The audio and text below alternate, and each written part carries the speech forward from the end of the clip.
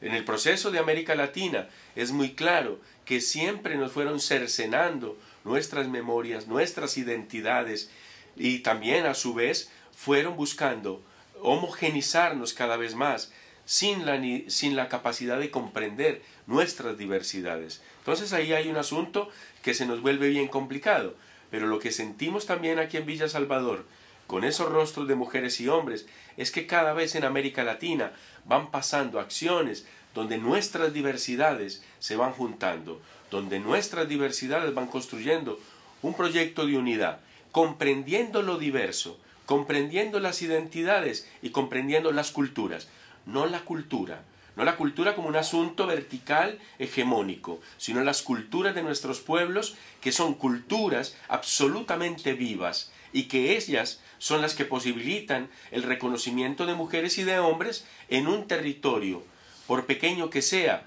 son muchas las diversidades que hay allí. Esa, digámoslo también, es como una acción para, en el caso de nuestra gente, para la recuperación de esa memoria.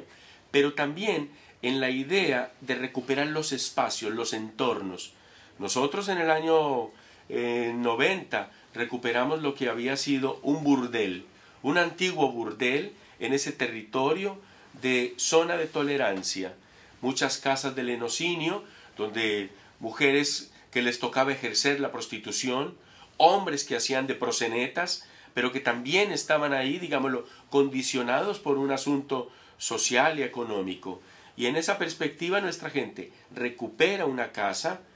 y ahí creamos nuestro centro cultural. Pero las memorias de esa gente era, no podían pasar por aquella casa, porque era la casa del mal, porque era la casa donde aparecía el demonio, porque en esas ventanas habían sombras, y porque en ese lugar habían espantos. ¿sí? Y en esa perspectiva para nosotros comenzamos a dialogar con la gente y a decirle, venga, llegue a la casa,